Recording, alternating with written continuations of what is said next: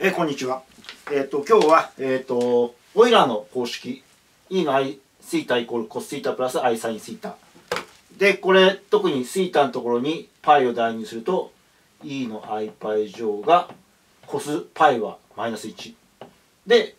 サイン π は0なんで、E の iπ 乗イコールマイナス1という、えっ、と、オイラーの等式が、えっ、と、導かれるんですけども、まあ、えっ、と、これがどうして成り立つのかということを、 えー、と今日はド・モアブルの定義を使って、えー、説明したいと思います。えー、説明にあたってド・モアブルの定理と,、えーと、E の定義と,、えーと、リミット h 限りなく0の時の h 分のサイン h イコール1っていうのはこれ、えーと、証明なしで、えー、と使わせてもらいます。えー、ド・モアブルの定理についてはこの前の動画で説明あ証明しましたし、えー、とこれについても、えー、とコド法え慣れ親しんだ360度法捨ててまで、えコド法を使うのはこの式が使いたいからで、えーと、コド法を使う理由っていうのも、えーと、動画でアップしてるんでもし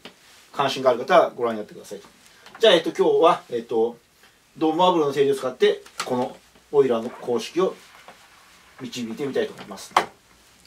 えっ、ー、とまずリミットのえっ、ー、と n 無限大の1たす n 分の2の n 乗がどうなるかを考えてみたいと思います。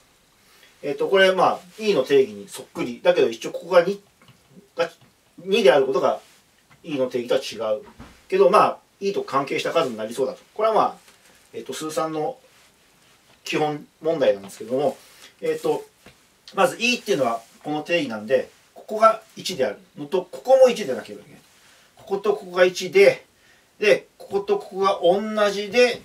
共に無限というのが E の定義なんで、じゃあ、えっ、ー、と、この式を、1たす、こことここ、ここが1じゃなきゃいけないんで、これ分数なんで、分母と分子を2で割ってやれば簡単に1になりますと。で、こっちはそのまま。これ分母と分子を2で割っただけなんで数はこれと変わってませんとでもここ今度ここが2分の n になってしまったのでこことここ共に無限なんだけど違うと。こことここが同じで無限でなければいけないので、えっ、ー、とじゃあつってここを2分の2してやればいいと。ただこれは勝手に2分の2しては元と数字が違っちゃうんででもじゃあ2分の下だったら2倍し直してあげればこれでついつま回ってると。でじゃあこれが E になりましたと。1と1で同じで、共に同じ数字で無限なので、これが E です。ってことは、これは E の2乗ですね。では、じゃあ一般的に、一般的に、えっ、ー、と、リミットの n 無限大の1たす n 分の a の n 乗は今と全く同じ要領で、えっと、分母と分子を a で割ってあげてここを1にして a 分のにして a をかけてあげれば同じように e ができるんで一般的に、えっと、e の a 乗っていうのはこう定義できるんじゃないかなということになります。じゃあそこで今知りたいのは、オイラの公式は E の I シーターが知りたいんで、じゃあ、えっ、と、指数っていうのは、まあ、0入れても大丈夫だ、0やマイナス入れても大丈夫だったくらいなんで、まあ、いいか悪いかは厳密には分かりませんが、E の I シーター上というのを、えっと、今と同じで、こうしてあげてもいいんじゃないかなと。じゃあそこで、えっと、今、n は無限大だと。じゃあここで突然なんですが、コーサイン n 分のシータというものを考えていきたいと思います。で、ここで n を無限にするとどうなるかっていうと、分母が無限にでかくなると、それは限りなく0に近づくということで、コス0になると、これは。で、コス0っていうのは、それは1ですよねと。じゃあここ1なんだけどあえてここをコーサイン n 分の θ としてあげてもいいんじゃないか n が無限大なんで。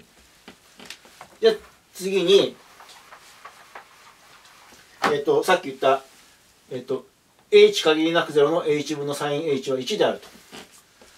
というのは、え証明なしで使わせてもらうと、えっと、リミットの n が無限大の時の n 分の θ 分の sin n 分の θ はどうかなと。いうとさっきと同じで n が無限大なんでえっと n が無限大なんでこれ0に近づくと。N 分のなんで。でもちろんこれと同じなんでこれも0に近づくと。サインのこの公式はえっと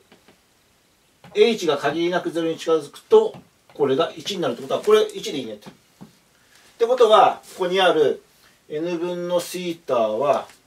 こうでもいいねと。いうことは n が無限大なんで。ってことはこれは i はそのまま残って sin n 分の θ というふうにしてあげられるねと。ということで e の iθ 乗っていうのはリミットの n 無限大のこれの n 乗というふうに書き換えることができるんじゃないかなと。で、そこで、ドゥームワーブの定理。コスシータ足す i サインシータの n 乗は、この n はこの角にかけちゃっていいよと。で、じゃあ、これ全くそのままなんで、コスシータと i サインシータの形をしたものの n 乗なんで、その n はここにかけちゃっていいよと。で、かけちゃうと、ちょうど n がキャンセルされてでもうリミット n 無限大関係なくなるんでこれでコーサインシータプラスアイサインシータっていうオイラーの公式が導けましたと。でこのシータにパイを入れたのが e の i パイ乗イコールマイナス1ということになるんですが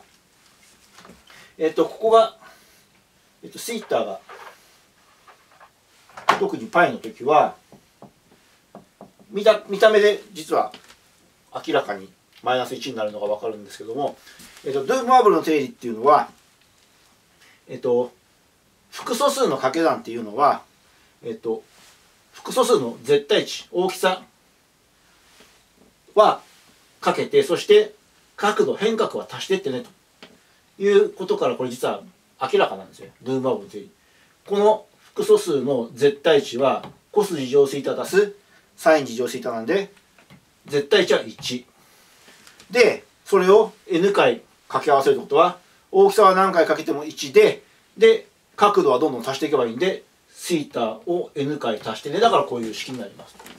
じゃあそこでここでもえっと e の i パイ乗イコールマイナス1っていうのは元はこれだと。